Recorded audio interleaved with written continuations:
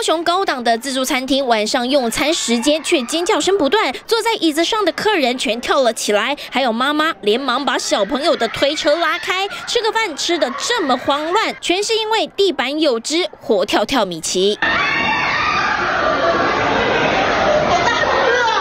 老鼠在餐桌下冲来冲去，真的吓坏用餐客人，甚至服务生也心惊惊。还好有不怕老鼠的男客人挺身而出，先是用脚踩住，接着不慌不忙徒手活逮老鼠。